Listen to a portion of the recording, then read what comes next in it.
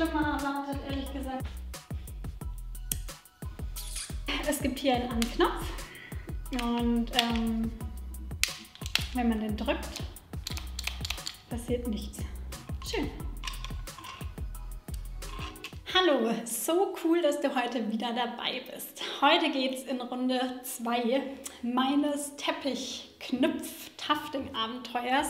Tatsächlich, ähm, ja, habe ich heute vor, einen Teppich herzustellen. Ich habe diesen Rahmen schon im letzten Video gebaut. Ähm, da verlinke ich dir gerne mal das Video in der Ecke. Und ja, heute wird er auf Herz und Nieren getestet. Ich hoffe natürlich, dass das alles Sinn ergibt, was ich mir da ausgedacht habe. Ich werde jetzt mal anfangen und das Gewebe auf meinen Rahmen aufspannen, ein Motiv draufmalen und dann schaffe ich es hoffentlich mit der Tufting Gun einen Teppich herzustellen. Ich habe ein bisschen Respekt davor, das ist ja schon ein ganz schönes Trumm, aber ja, ich hoffe einfach, das klappt so wie in meinen Vorstellungen. Kommentare sind sehr, sehr gerne gesehen, also fragt ruhig und gebt Feedback. Ich freue mich da echt super, super arg. Und ja, abonnieren und liken ist sowieso cool, ist das größte Geschenk, das ihr mir machen könnt. Also, dann würde ich sagen, starten wir durch.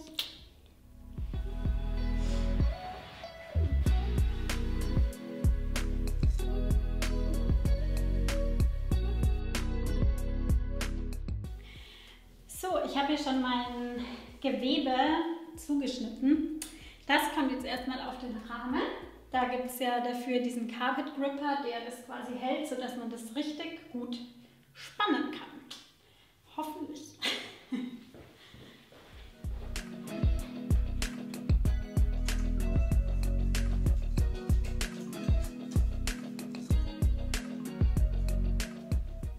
Ich habe das Gewebe erstmal ziemlich lose aufgespannt, dass es erstmal grob an Ort und Stelle ist.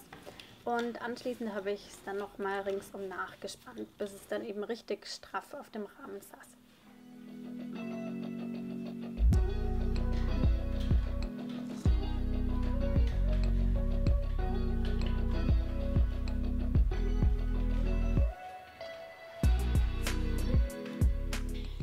Was auf jeden Fall sehr gut ist, ist, dass auf dem Gewebe oder auf meinem zumindest schon Linien drauf sind.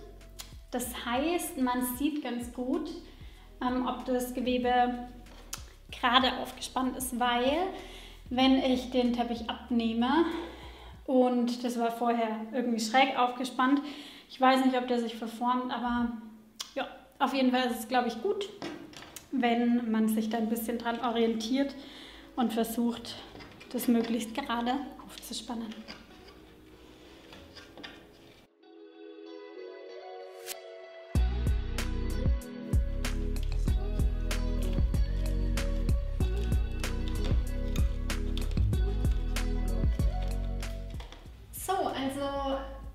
hat schon mal erstaunlich, oder ich will nicht sagen erstaunlich gut, aber gut funktioniert. Also ich habe es jetzt relativ straff aufgespannt. Ich glaube, ob das noch straffer sein muss, das merke ich spätestens, wenn ich lostafte. Ähm, denke aber, ja, dass es ganz gut ist und bis jetzt der Rahmen leistet auch guten Widerstand, was er jetzt soll. Ja, das Motiv, das habe ich mit Hilfe von einem Projektor übertragen. Das heißt, Raum leicht abdunkeln, dann einfach die richtige Größe einstellen, ähm, also von eurem Teppich an sich und dann mit einem Edding einfach das Motiv auf euer Gewebe übertragen. So, ich habe jetzt das Gewebe ähm, aufgespannt und mein Motiv aufgemalt. Bin sehr zufrieden. Die Größe, ja, habe ich jetzt einfach mal ehrlich gesagt auf einfach nach Gefühl ähm, eingestellt. Ich bin wirklich gespannt, wie das dann wird, wenn das auch wirklich so haptisch ist. Und ähm, ja, es ist schon nicht kleines Motiv. Ich bin ja tatsächlich eher die kleinen Punch-Needle-Rahmen gewöhnt, die so um, um die 20 cm groß sind. Das ist natürlich schon eine andere Dimension. Jetzt kommt hoffentlich nicht der Endgegner, sondern eine Maschine, die mir äh, positiv gestimmt ist. Äh, es schaut ziemlich krass aus tatsächlich. Ich zeige euch das mal ein bisschen näher.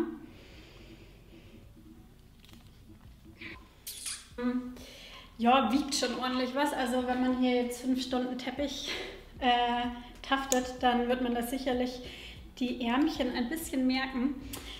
Ähm, es gibt hier einen Anknopf und ähm, wenn man den drückt, passiert nichts. Schön.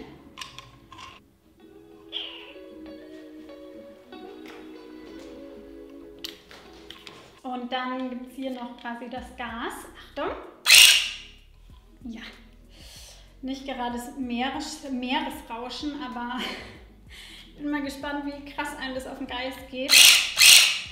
Also gerade in heilenden Räumen, äh, wie einer, in dem ich mich befinde, ist es tatsächlich nicht gerade leise. Ich habe auch meine Kopfhörer dabei, also ich glaube, da ist man ganz gut beraten, wenn man da sich ein bisschen schützt auf Dauer.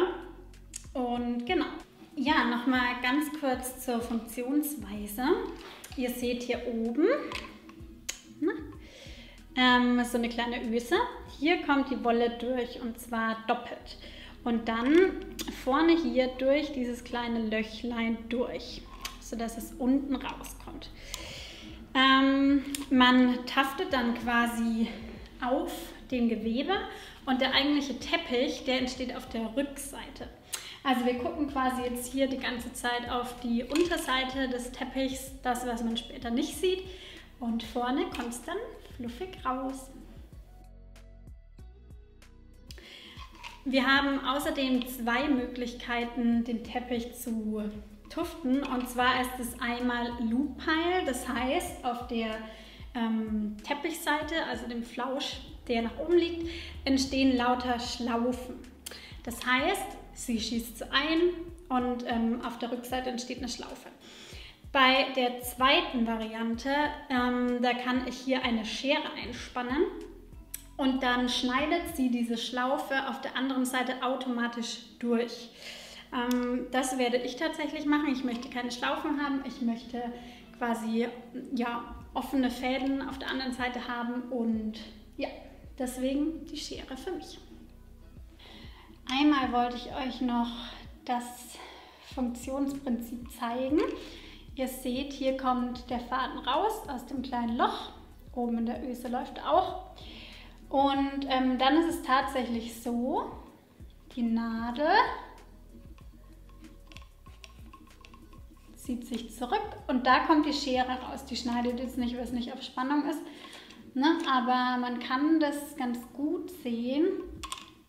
Genau, was man auf jeden Fall auch beachten sollte, dass hier unten nie angelangt wird. Ja, also die einzigen beiden Griffe, die ihr habt, ähm, das sind auch die, die ihr halten solltet. Also hier sind, bewegt sich das und das ist, zieht wahrscheinlich auch alles Mögliche mit rein, Haare und so weiter. Also immer vorsichtig sein mit der Maschine. Die hat auf jeden Fall ordentlich Power. Und genau. Jetzt werde ich diese hier mal mit Wolle bestücken.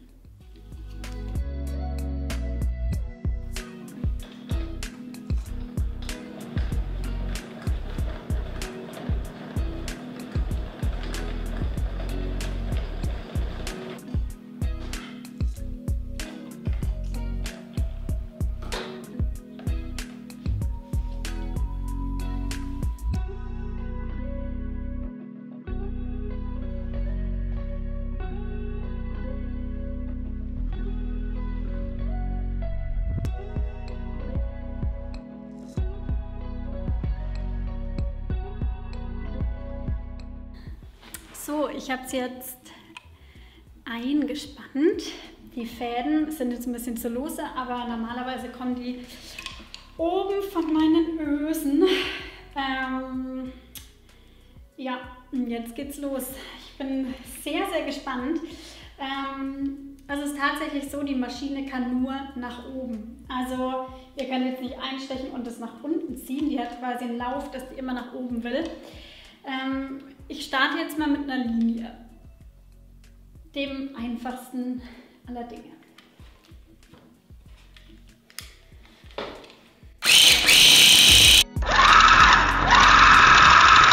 Wow. Okay, ich bin hardcore erschrocken. Hm? Okay. Auf der anderen Seite ist Flausch entstanden.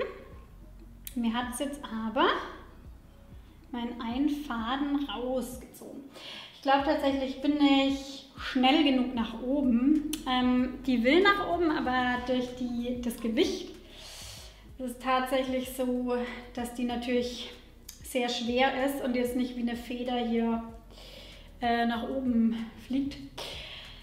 Ich tüttel den Faden hier nochmal rein und ja, versuche es erneut. Zwischendrin immer ausschalten, wichtig. So, Runde Nummer zwei. Ich setze mal relativ nah daneben an.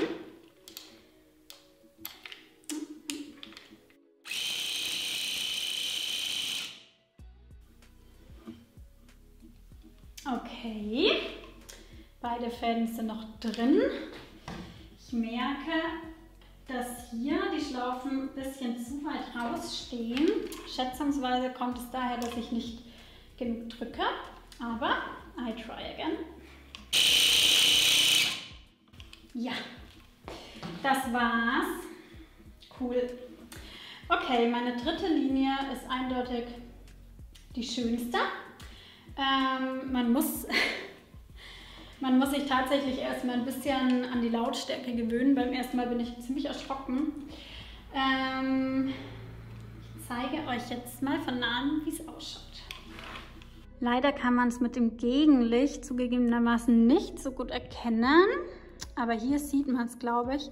Da habe ich nicht genug gedrückt. Ne? Da ist die Wulst so richtig groß und auf der anderen Seite äh, sind nur ganz kurze Fädchen. Das hier war jetzt meine letzte. Die ist am gleichmäßigsten.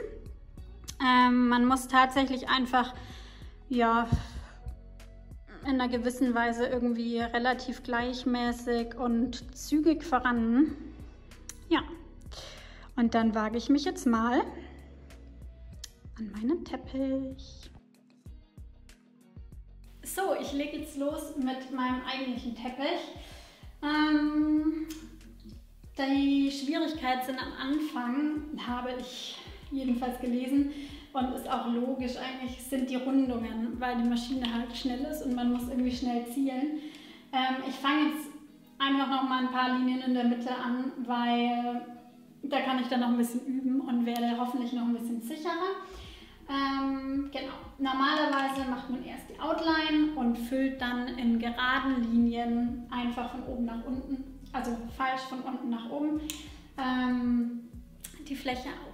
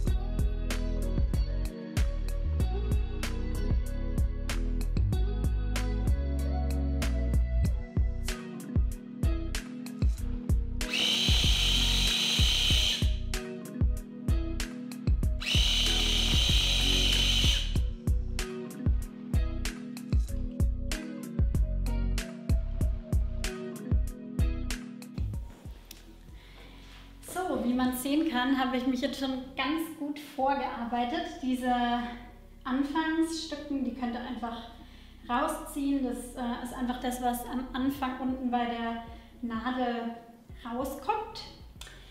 Ähm, die Biegung, die wird jetzt eine Herausforderung. Muss ich sagen, hier habe ich jetzt den Dreh schon ganz gut raus bei den Linien, aber die hat schon ordentlich Power und Geschwindigkeit. Also Guck Mama.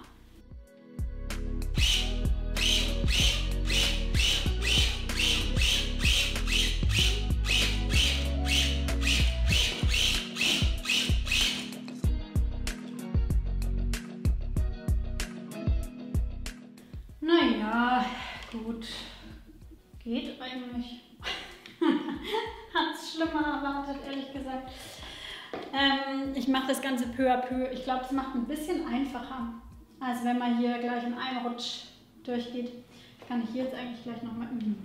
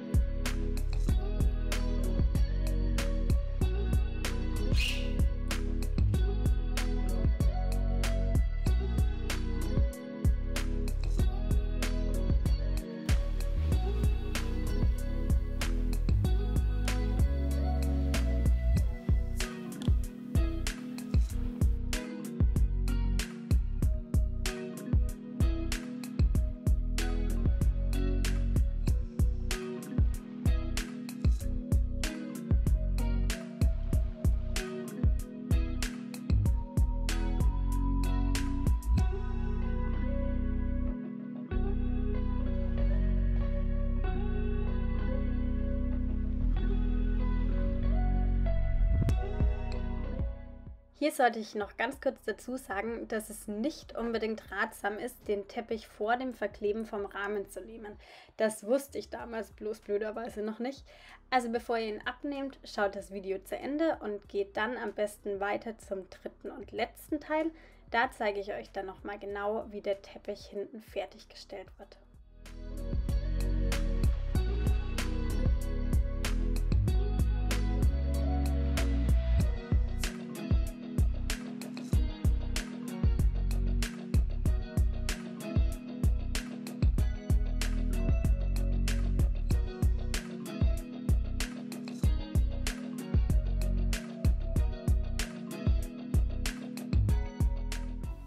So, meine Tafting Gun und ich, wir sind fertig für heute. Und was rausgekommen ist, ich muss sagen, für meinen ersten Teppich bin ich wirklich zufrieden, obwohl das hier jetzt noch nicht das Ende ist. Ähm, es gibt jetzt zwei Teile, einmal Rahmen bauen und einmal diesen Teil hier, wie man taftet.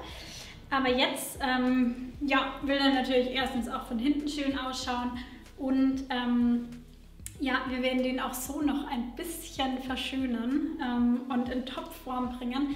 Und dafür äh, gibt es auch noch einen Teil 3. Genau. Ich fasse jetzt nochmal zusammen, was dir beim ersten Mal Taften vielleicht helfen könnte. Und ja, ich versuche meine Tipps mal zusammenzufassen. Ja, ich habe auf jeden Fall nach dem Aufzeichnen erstmal ganz ehrlich irgendwo angefangen. Ich habe mir einfach eine Fläche rausgepickt. Normalerweise ist das Vorgehen so, dass man erstmal die Outline tuftet und dann diese ganze Fläche eben füllt. Ähm, Gerade am Anfang, wenn man so Wellenlinien, Kreise, Rundungen, was auch immer, irgendwelche Freiformen hat, dann rate ich euch, fangt lieber erstmal mit geraden Linien an.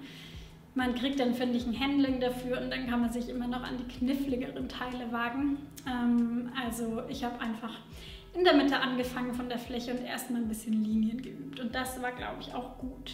Rundungen habe ich tatsächlich immer so ein bisschen in kleinen Abschnitten ähm, getaftet, weil das in einem Rutsch zu machen, ich finde, die Maschine ist da oder für meine Verhältnisse einfach noch zu schnell und deswegen habe ich immer so kleine Stücke und zwischendrin immer gestoppt dann ist es mir auf jeden Fall leichter gefallen.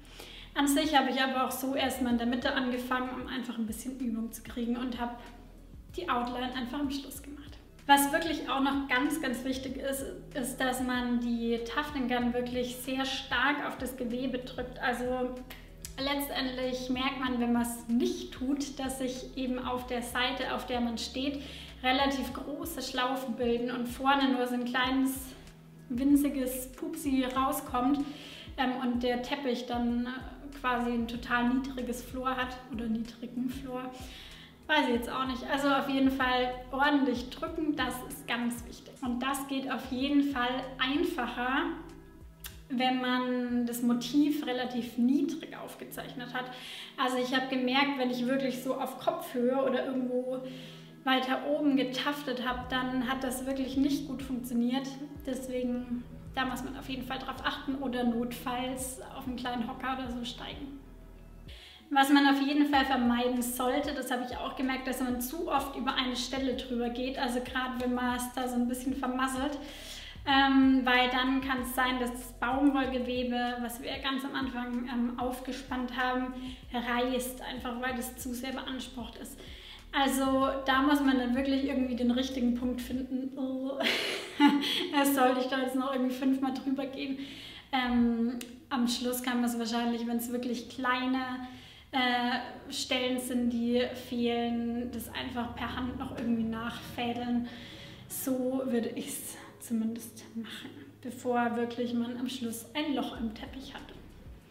Zwischendrin hat meine Maschine dann mal nicht mehr richtig geschnitten und hat irgendwie gepiepst und dann dachte ich mir erst, oh, was ist los? Ähm, ja, es lag tatsächlich daran, dass ich die mal schmieren musste.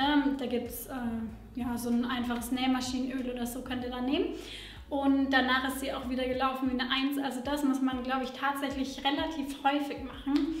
Ähm, beziehungsweise tut das der Maschine halt einfach gut. Die ist ja trotzdem ja, mechanisch sehr beansprucht. Deswegen immer mal wieder ein bisschen Öl und das läuft. Wenn du gerade erst auf dieses Video gestoßen bist, dann guck gerne mal in das Video davor. Da zeige ich dir auch nochmal, wie der Rahmen funktioniert. Tatsächlich bin ich sehr, sehr zufrieden mit meinem Rahmen. Der hat mir gute Dienste geleistet und hat auch top gehalten. Also ich hatte so ein bisschen Angst, dass der vielleicht zu kippelig ist, aber das war tatsächlich gar nicht so. Ähm, und deswegen ja, kann ich das Video guten Gewissens drin lassen.